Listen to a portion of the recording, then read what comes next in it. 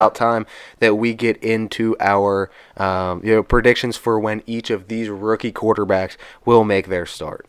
We'll go Kenny Pickett with the Steelers. Um, so I we I've been saying this. Um, I think we've been on the same page with this. He should start week one. Um, and, and we're going to predict that. I think the Steelers are going to make the right decision.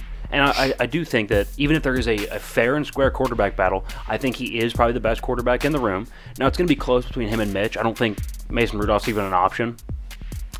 Um, I think it will end up being kind of close between him and Mitch Trubisky. They're both very similar quarterbacks. I, think, so. I think I said at one point that uh, Kenny Pickett is Mitch Trubisky's cousin, right? They, they play very similar styles of football. Yeah, you did say that. I do think Kenny's got a little bit more of an it factor, right? I think he's got a little bit more of a. First of all, I think he's more mobile.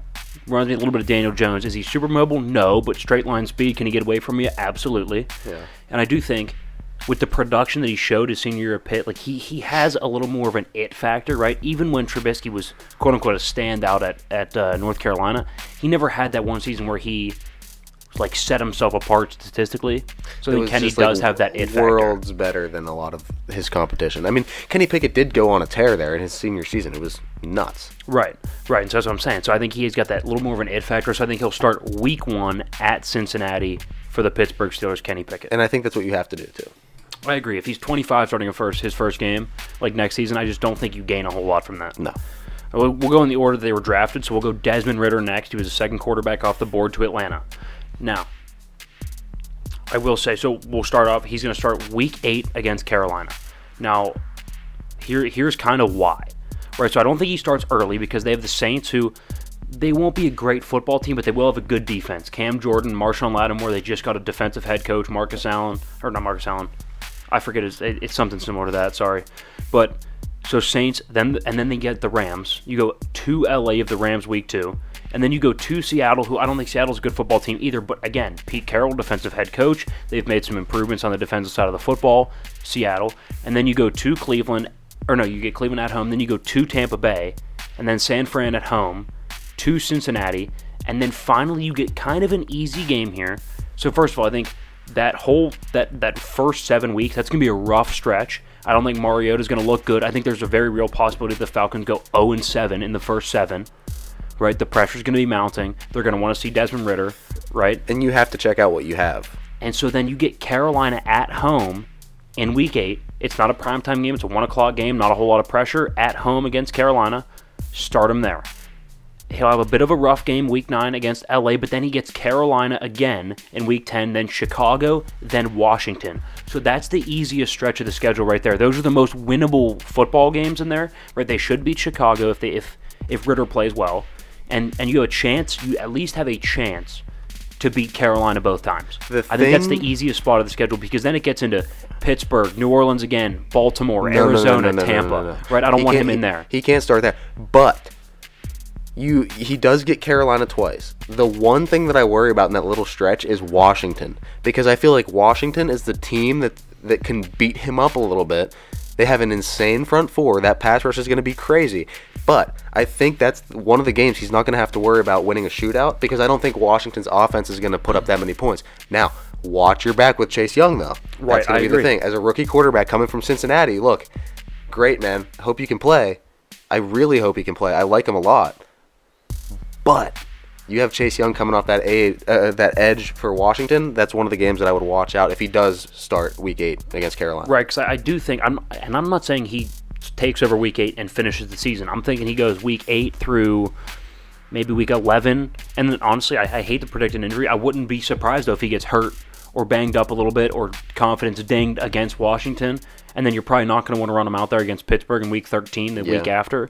So I think he could just have a little stretch of like four games where he starts, right? Give him a little experience, see, see what you have. Yeah, just a little trial run, little test run, see right. what happens. And then after Pittsburgh, even if he does start for the Pittsburgh game, then another, then you get a buy. Hey, and if he shows buy, out, evaluate. If he shows out and he's looking really good, why not roll him out there against Pittsburgh? I mean, he probably Right. You know. Right. And like I said, there's a there's a bye week right after Pittsburgh. Then from there you can regroup. Right. I think that's probably the best spot to put him in.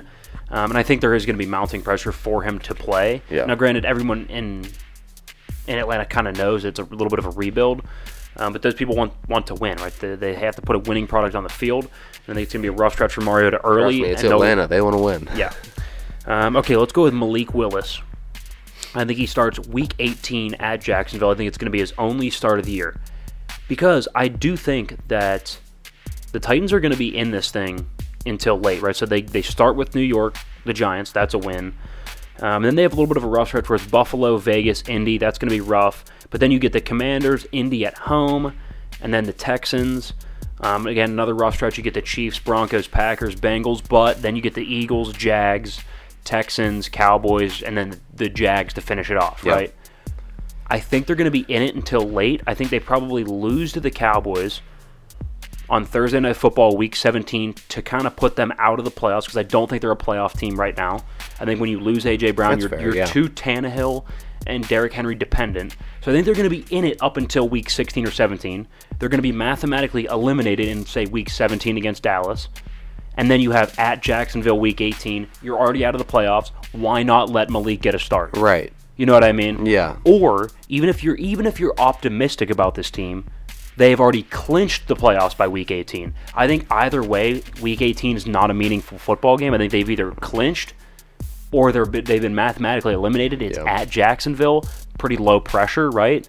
It's probably going to be like a one o'clock game, low pressure. I mean, it's Jacksonville; they're going to be eliminated too. It's going to be a very not mellow game. It's the NFL still, but the temperature in the room is going to be brought be down it's a not little going to bit. be battling it out for the last spot of a, a playoff. Right, the temperature in the room is going to be down a little bit. It's a great spot to insert a rookie. Let him get that one under his belt, and then it's it that experience is fresh heading into the off season. He can work his way through the off He knows what he needs to improve at least a little bit. Like he gets a, Right. a temperature gauge of himself, knows what he has to do. Right, I think I think it makes a lot of sense for him to only start because he's a very raw prospect. I don't think he's got a guy that's going to come in and start six, seven, eight games and be a difference maker. I think he's way too raw if he starts. I think he's more close to like Trey Lance. Maybe starts one or two games.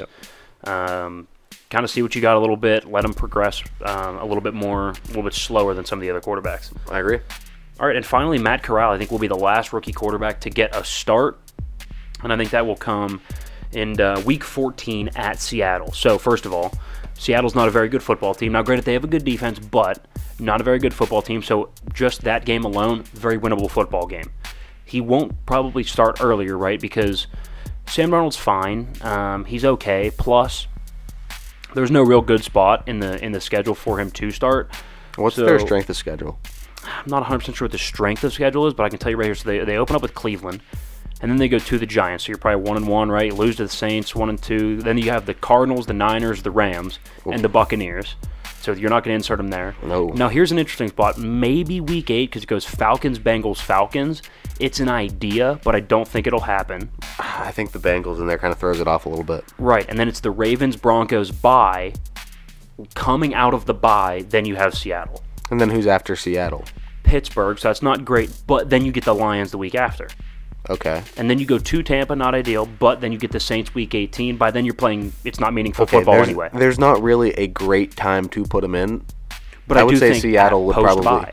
Yeah, Seattle post bye because you, you got a little more rest. You can game plan them a little bit more because you have an extra week. Also, here's my thing. I like Sam Darnold, but let's not be surprised if he goes in this stretch right here, right, where it's LA, Tampa, Atlanta, Cincinnati, Atlanta, Baltimore, Denver. So seven games leading up to the bye. Even with two Atlanta games in there, would you be surprised if Darnold goes 0 7 and looks horrific? No. Then you get to a bye. People are going to be begging for you to put make some sort of switch at quarterback. At 0 and least the- 7. Darnold looks terrible. You finally have a bye. You have time to regroup. You open up with a team that Seattle by week 14, they're probably like 3 and 3 and they're 9, in 3 and 10, They're right? in Something like shambles. Their defense, they can't generate a pass rush. They can't get anything going. right, they're probably not a good football team by then. You don't have to win a shootout. Drew Lock on the other side. Yeah. I think that's a pretty good spot for Matt Corral to go into. Yeah, it's a good spot. It's a 425 game. It's nothing prime time. I think it's a good spot for him to go into. Mm-hmm. Well, at least the best spot. I, we'll see. We'll see.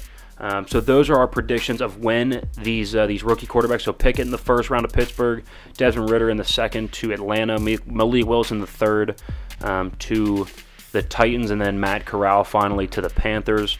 Um, we're predicting, you know, got- predicted all of them to make their first starts in the NFL. We got Guys,